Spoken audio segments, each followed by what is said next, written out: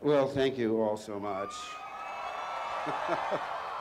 uh, uh, these will be brief remarks because words truly fail me. Uh, it's hard to convey my gratitude, my joy, the exhilaration of being recognized this way. I haven't been this speechless since Force Awakens. Uh, but I, I, do really want to thank uh, George Lucas. Uh, let's be, yeah, let's be honest. If it weren't for the genius of George Lucas, I wouldn't be standing here today.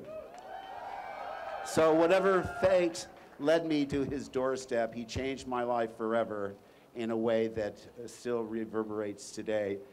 Um, when I first met Harrison Ford, I was already a fan of his work in Francis Ford Coppola's The Conversation and one of my favorite comedies of all time, American Graffiti.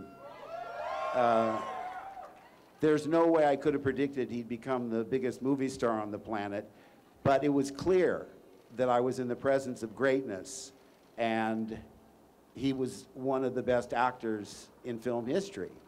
Uh, he also gave me the great advice hey, kid, don't get cocky honestly, I, I really can't tell you how lucky I am to be able to do the things that I loved doing as a kid, as, a, as, a, as an adult, and get paid for it. Seriously.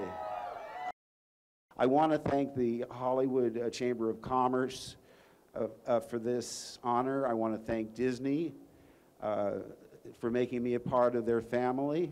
They were certainly a part of our family growing up. We never missed a, a Disney show every Sunday saw every movie. Uh, they really inspired me. They showed making of films where I thought, wow, if I can't be an actor, look, there's carpenters, there's cameramen, there's wardrobe people. I'm not a bad cook. Maybe I could cater films.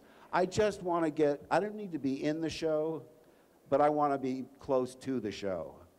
And finally, and most importantly, I want to thank all of you here today.